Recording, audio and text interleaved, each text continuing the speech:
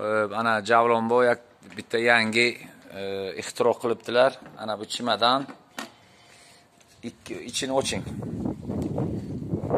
Batareya 12 voltlik batareyani 220 qilib beradigan inverter qo'yib yoping endi ana inverter. Tak, yoping.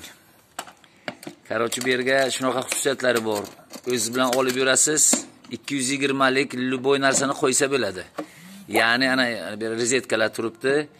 Xo'p, ana bu yerga ikkita birdaniga sotkani qo'ysa bo'ladi. Yo'qing, ana bu 12 volt ana ko'rsatibdi. Xo'p, bu 220 ha? Ana bu ana endi ventilyatorimiz bor ana. Hozir ventilyatorni qo'yib ko'rsalar. Yerga qo'ying, yerga qo'ying. Ustoz Javlon. Odamlar o'ylamasin, yerga rozetkasi bor ekan. Ana, hozir tiqiladi. Ana diqqat qilamiz ventilyator. Ketdik. Yo'qing. 220 ventilyator ishlayapti. Ana shunaqa ixtiro. Где-то 5-6 kilogrammlik narsa. Endi to'g'ri, e, konditsionerni tortmasligi mumkin, lekin 220 lik televizorlar ana bu nima deydi?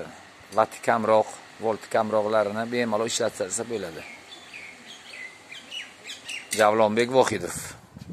Rahmat, kasbkoringizga baraka bersin. O'zlari ixtiro qildilar.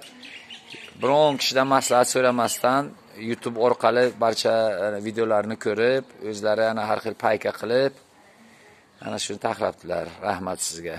Ijodingizga omad.